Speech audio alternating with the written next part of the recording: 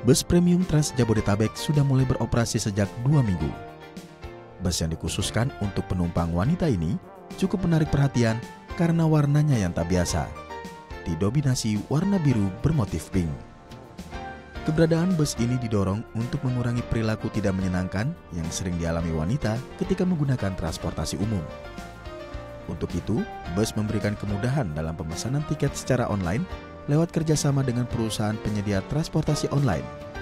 Ditambah dengan fasilitas Wi-Fi, lengkap dengan kursi kenyamanan duduk di kursi kulit bersabuk pengaman.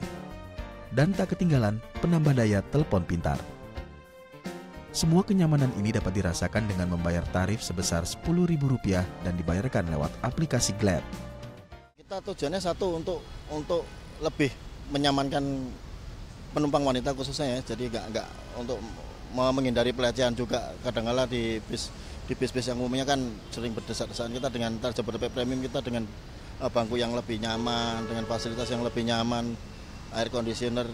Dan kita kalau sudah penuh ya udah nggak nggak usah ngambil lagi itu lebih menyamankan perempuan wanita.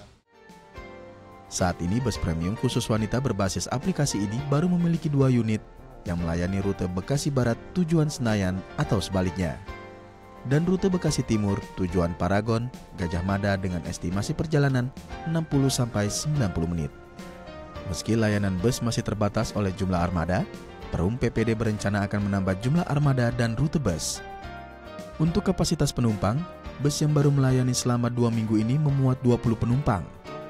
Masyarakat bisa memadati bus ini pada pagi dan sore hari yang didominasi oleh kaum pekerja. Untuk wanita Jabodetabek Premium sudah hampir tiap harinya uh, saya pantau di ini hampir 100 orang saya baru udah udah udah menunjukkan uh, respon yang cukup positif juga sih. Masyarakat khususnya wanita menyambut positif adanya bus ini. Mereka dapat dengan aman dan nyaman dalam bepergian.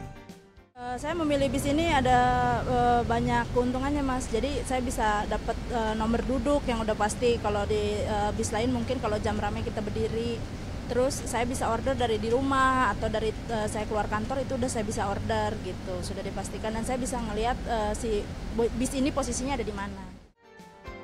Dalam sehari bus premium khusus wanita berbasis aplikasi ini berangkat enam kali dan biasa menunggu penumpang di pusat keramaian seperti mall dan pusat perkantoran.